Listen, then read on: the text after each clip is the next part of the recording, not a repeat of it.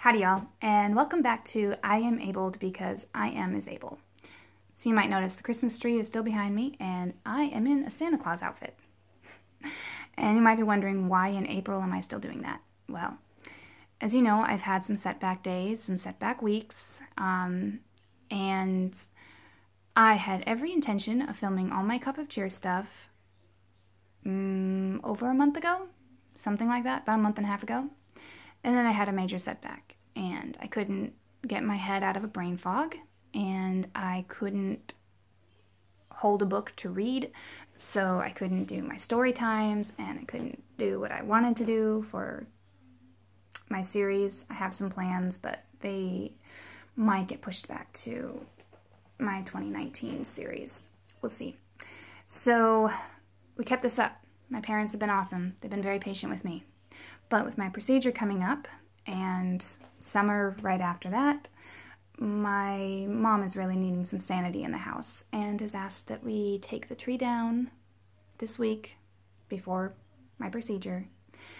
And it'd be best if dad could be able to help us. So I spent today and yesterday filming.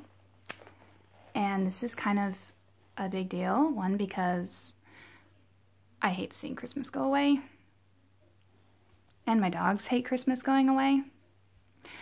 But two, because I had a raging, and still do, a headache, neck ache, and emotion filled weekend.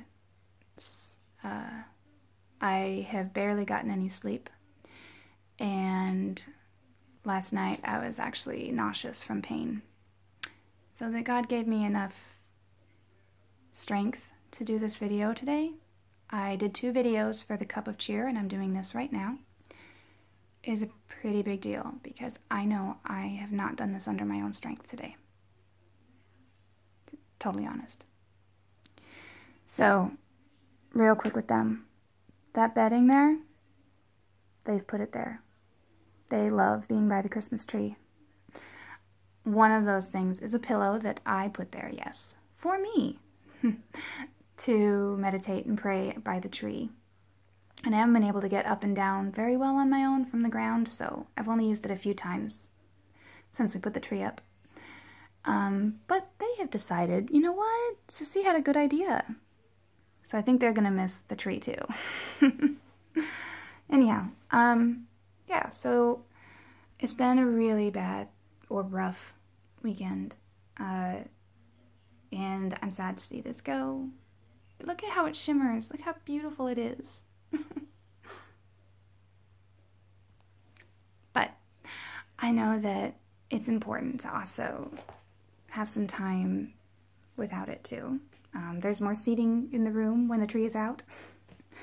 And it's easier to get in and out of the door, stuff like that, you know, little things like that.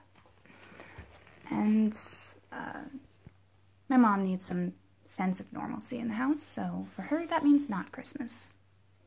And I can appreciate that. So I filmed enough Cup of Cheer videos that I can assure you we will at least have a handful of Cup of Cheer this year, and we'll see what happens from there.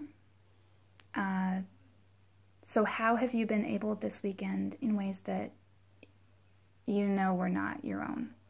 Like, maybe you didn't have the strength of your own will to drive to church today because you were exhausted or to get the kids to their party or whatever it may be today. Maybe you're in an area where it's snowing or raining cats and dogs, and yet still somehow God gave you strength to do something today. I'd love to hear what it is. Um, you can leave the comments below or whatever. So thanks for being along for this journey. There might be more videos of us actually taking this tree down. Or maybe not. We'll see. Anyhow, ciao for now.